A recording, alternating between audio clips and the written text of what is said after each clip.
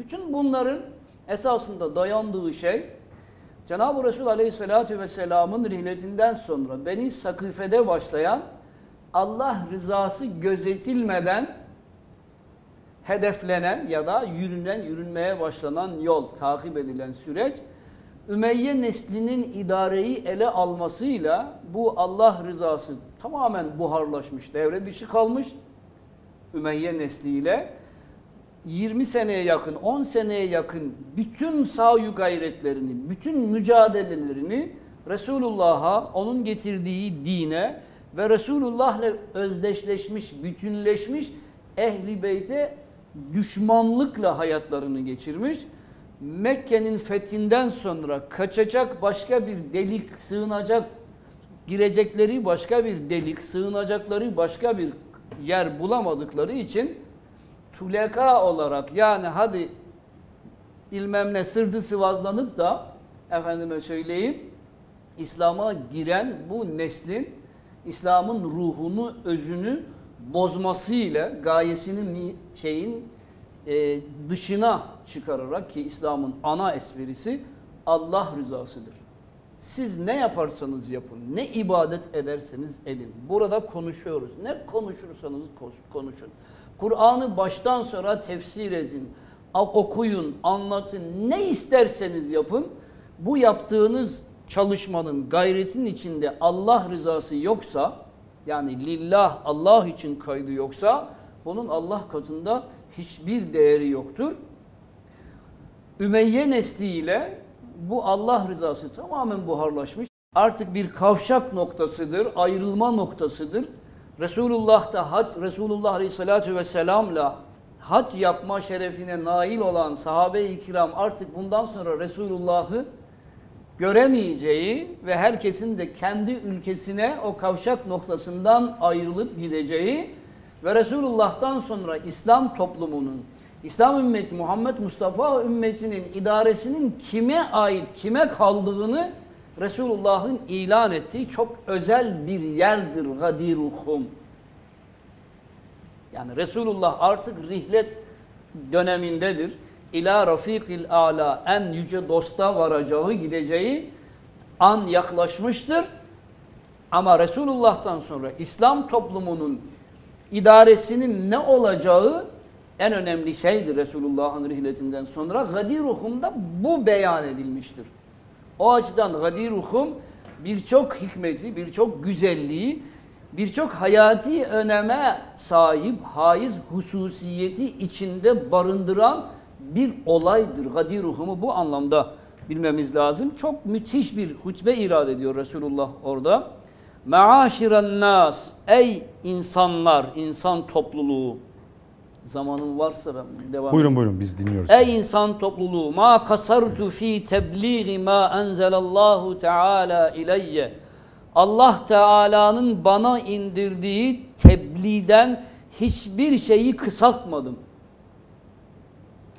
Ve ene ben ubeyyinu lekum size beyan ediyorum, açıklıyorum. Sebebe hadihil ayeti Maide suresi 67. ayetin iniş sebebini size beyan ediyorum. Açık seçik, net olarak hiçbir şeyin gizli kapaklı, örtülü kalmayacağı, acaba unsurunun taşımayacağı şekilde size bunu tebyin et. Zaten Resulullah'ın vazifesi de bir vazifesi de Kur'an'ı tebyindir, beyan etmektir.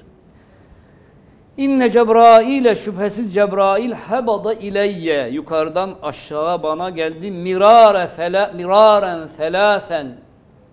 Tekrar tekrar üç kere.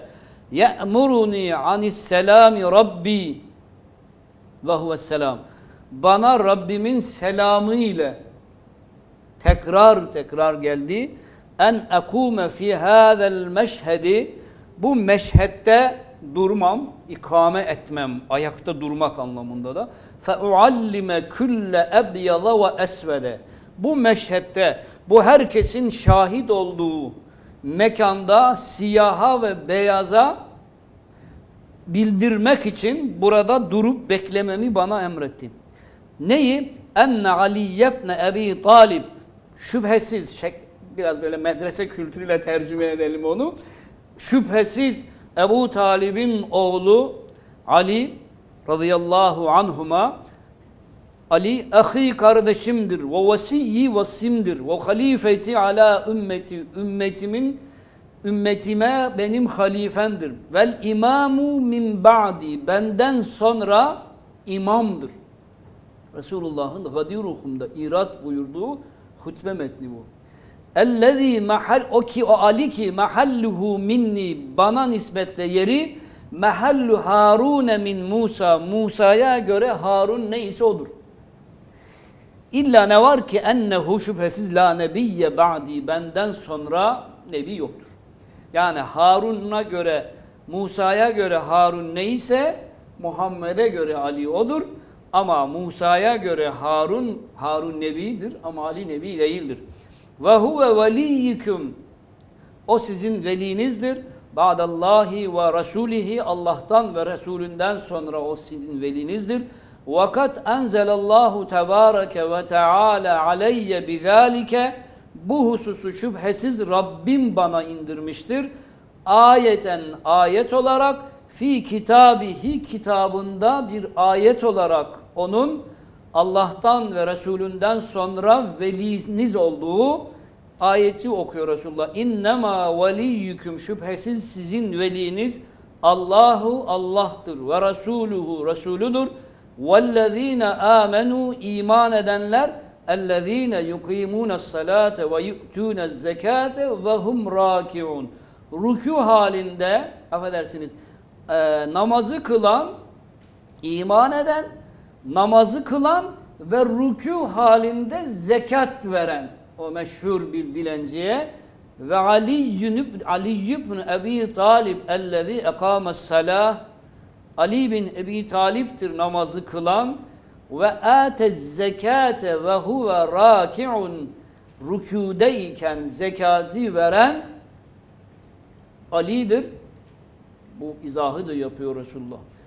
Bunun gibi Cenab-ı Resul Aleyhisselatü Vesselam'ın kendisinden sonra nübüvvetin, risaletin bitişiyle artık imamet devresinin gibi Profesör Doktor Haydarbaş Hocam buna çok vurgu yapar. İlk sefer zaten onun ağzından, Femi Muhsinesinden biz bunu dinledik. Resulullah'tan sonra imamet süreci başlıyor.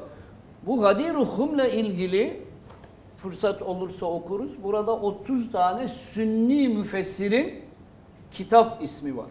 Şii değil, Sünni müfessir. Zaten Profesör Doktor Haydarbaş hocam bu Tevhidin Merkezi Ehli Beyt isimli eserinde tam 220 tane Sünni kaynak ismi veriyor.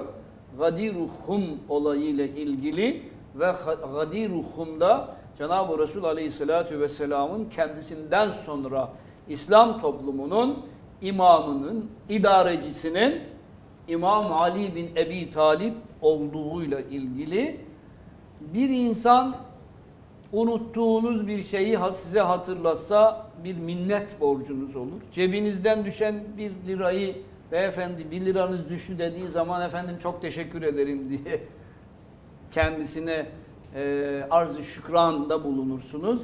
İslam kültür mirasının, İslam tarihinin bu son derece önemli ve ona bağlı olarak birçok olayın da anlaşılması buna bağlı esasında Gadir Hum olayına bağlı.